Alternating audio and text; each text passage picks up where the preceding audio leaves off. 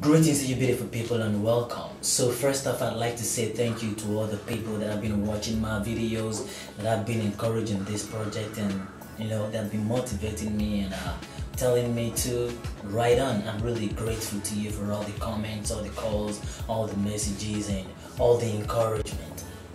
I came across something on Facebook yesterday and it, it, it has it has made me sad like so bitter like my soul has been embittered all right i could just ask a single question like is there any sector any department any ministry in nigeria that is actually working?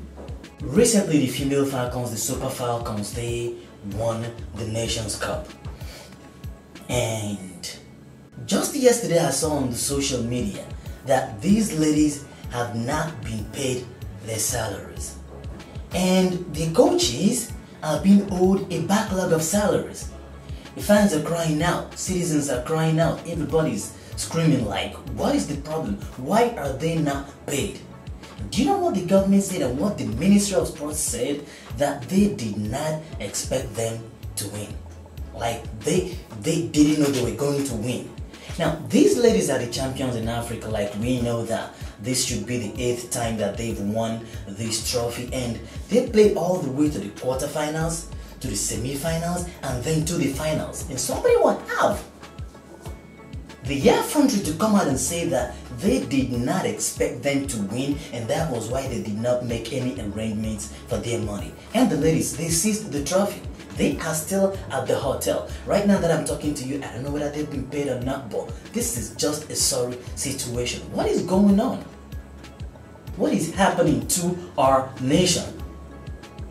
These ladies put in everything they had, like the training, the rigors, and all the stress that they had to pass through. And at the end of the day, they were given 10,000 naira each. That is full blown crap is the problem from the government like they don't want to release the money or is the problem from the ministry of sport like they were not able to make the arrangements like forward the necessary papers to the government to get the amount of money needed? Or what is the problem?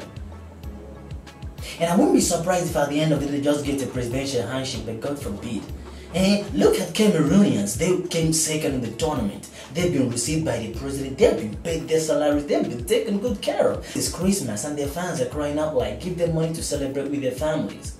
You know, so whatsoever is going on, please, all the people that are involved, those that can help out, they need to do something about it. Is it that the people who are supposed to talk are not talking, or that the people who are supposed to do what they are supposed to do are not doing what they are expected to do? Pray for our country. We are going down the drain like we are melting down. So thank you so much for watching this video. If you enjoyed it, we would appreciate your support. Just click the like button and subscribe for more videos. Keep smiling and remain truly blessed. I'll see you on the next one. Have a beautiful weekend.